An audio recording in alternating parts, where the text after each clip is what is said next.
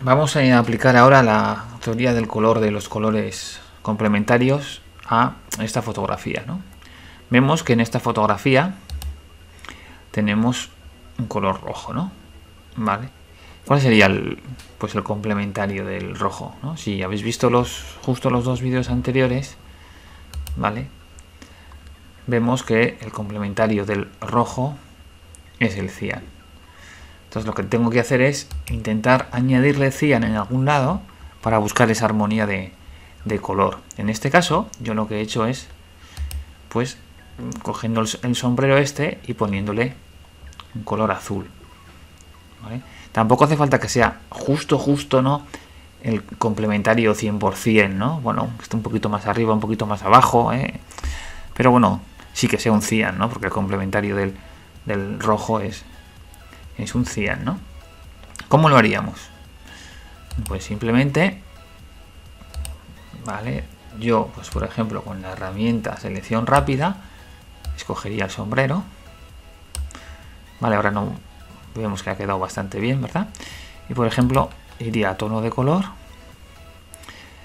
eh, a tono saturación, perdón, le voy a colorear y aquí buscaría pues ese color cian, ¿no?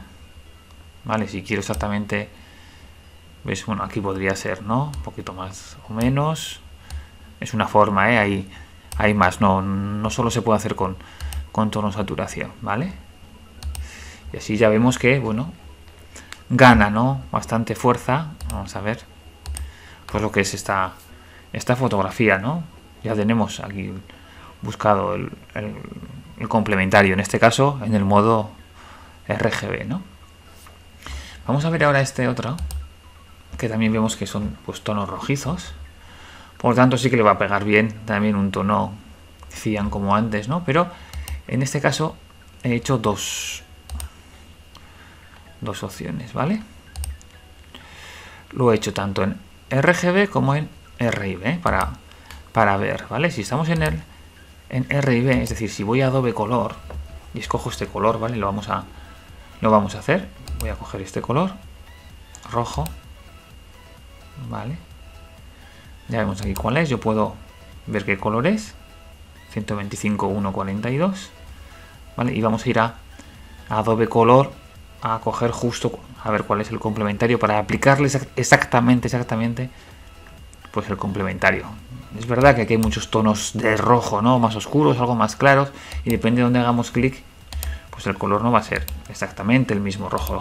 Lógicamente aquí es un rojo demasiado oscuro, lo lógico sería coger un, rojo de por aquí, ¿no? Que es eh, más, bueno, que por lo menos no, tiene tanto negro, ¿no?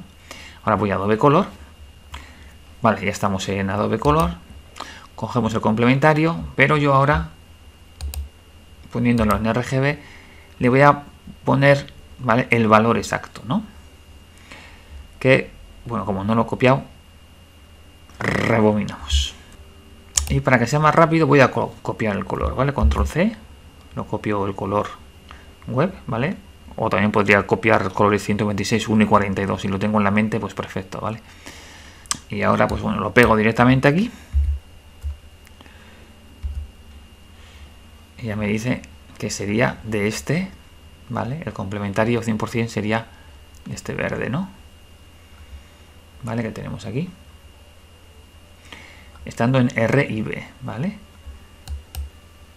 ¿Qué verde es este? Epa. Perdonad. Control Z. Bueno, voy a copiar otra vez el color. Vale, voy Enter. El problema es que aquí, ¿ves? Eh, siempre nos pone el complementario y nos pone un tono extra, vamos a decir, ¿vale? A nosotros nos interesa, este es el tono rojo que hemos, que hemos cogido, por tanto nos interesa este verde que es este de aquí, ¿no? Cogemos el color. Vale, aquí en Photoshop le voy a decir, clic aquí, y le voy a decir quiero este verde. Ok, ya tengo ese tono verde, ¿vale? Y ahora, pues en una capa nueva, como he hecho yo aquí, simplemente le he pintado un poquito de, eh, bueno, de sombra de ojos, en este caso en el modo luz suave, ¿vale? Lo vamos a hacer otra vez haríamos una capa nueva, cogeríamos el pincel dureza 0. Vamos a aumentar esta zona. Más pequeñito.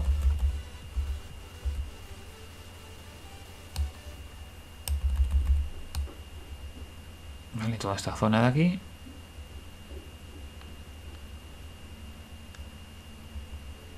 Y lo mismo pues por aquí, ¿no?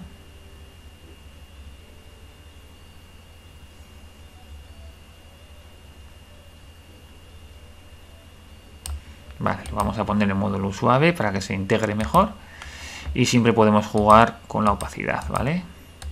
Aunque es verdad que nos va a dejar ver un poquito lo que hay abajo, ¿no? Depende de cómo hagamos esa parte de la opacidad. Voy a dar un control 0 para encajarlo en pantalla. ¿Vale? Y este, este sería, pues, cómo se ve el color complementario al vestido, ¿no? Y también le da esa, esa unidad, ¿no? Si en vez de hacer en, R, en RIB quiero hacer en RGB, pues en RGB el color complementario, como os comentaba antes, del rojo es, es el cian, ¿no? Pues bueno, pues en este caso eh, le pintamos de ese color cian y con eso pues nos queda también la fotografía en una cierta armonía de color.